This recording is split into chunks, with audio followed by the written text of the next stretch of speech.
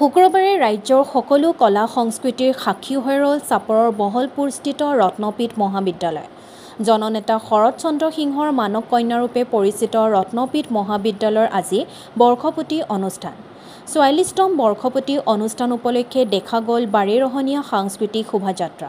চাপৰ বহলপুৰস্থিত প্ৰাক্তন মুখ্যমন্ত্ৰী তথা প্ৰয়াত জননেতা শৰৎ চন্দ্ৰ সিংহদেৱে প্ৰতিষ্ঠা কৰা ৰত্নপীঠ মহাবিদ্যালয়ৰ চৌৱাল্লিছতম প্ৰতিষ্ঠা দিৱস আজি অনুষ্ঠিত হয়। ঊনৈছশ আঠসত্তৰ চনৰ এক ছেপ্টেম্বৰ তাৰিখে প্ৰতিষ্ঠা লাভ কৰিছিল মহাবিদ্যালয়খনে। প্ৰাক্তন মুখ্যমন্ত্ৰী তথা প্ৰয়াত জননেতা শৰৎ চন্দ্ৰ সিংহদেৱে প্ৰতিষ্ঠা কৰা মহাবিদ্যালয়খনৰ আজি প্ৰতিষ্ঠা দিৱস উপলক্ষে মহাবিদ্যালয়খনৰ কৰ্তৃপক্ষ কিংবা ছাত্ৰ ছাত্ৰীসকলে দিনজোৰা কাৰ্যসূচীৰ লগতে বাৰেবৰণীয়া সাংস্কৃতিক শোভাযাত্ৰা উলিয়ায়।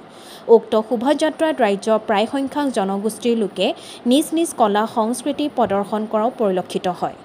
News desk report all Assam news thirty. আজি ফাৰ্ষ্ট ছেপ্টেম্বৰ তাৰিখ ৰত্নপীঠ মহাবিদ্যালয়ৰ ছিয়াল্লিছতম বৰ্ষপূৰ্তি অনুষ্ঠান। আৰু এই অনুষ্ঠানৰ লগত সংগতি ৰাখি আমি বিশেষভাৱে জন জননেতা শৰৎ চন্দ্ৰ সিংহ ডাঙৰীয়াৰ মানস কন্যা ৰত্নপীঠ মহাবিদ্যালয়ত আমি বিভিন্ন কাৰ্যসূচী আমি হাতত লৈছোঁ। ৰাতিপুৱাৰ পৰা আমাৰ কাৰ্যসূচী চলি আছে। ৰাতিপুৱা মহাবিদ্যালয় পতাকা উত্তোলনৰ কাৰ্যসূচী আৰম্ভ কৰা হৈছে।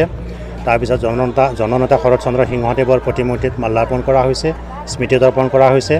তাৰপিছতে বৃক্ষৰোপণ কাৰ্যসূচী আমাৰ সুকলমে সম্পন্ন কৰা হৈছে।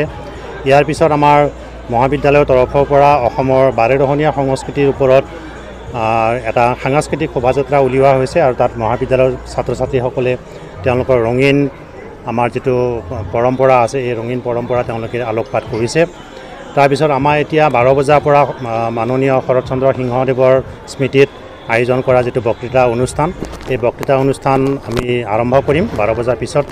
আৰু এই বক্তৃতা অনুষ্ঠান শুৱনি কৰিব ৰাজবংশী সাহিত্যৰ এগৰাকী পুৰোধা ব্যক্তি ডক্টৰ দ্বিজেন্দ্ৰনাথ ভগত ভকত ডাঙৰীয়া তেখেত উপস্থিত হৈছে আমাৰ মাজত আহি।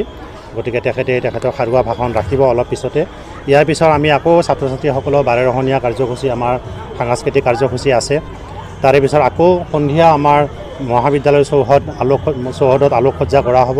আৰু আলোকসজ্জাৰে আমি আমাৰ আজিৰ দিনটোৰ কাৰ্যসূচী সামৰণি মাৰিম।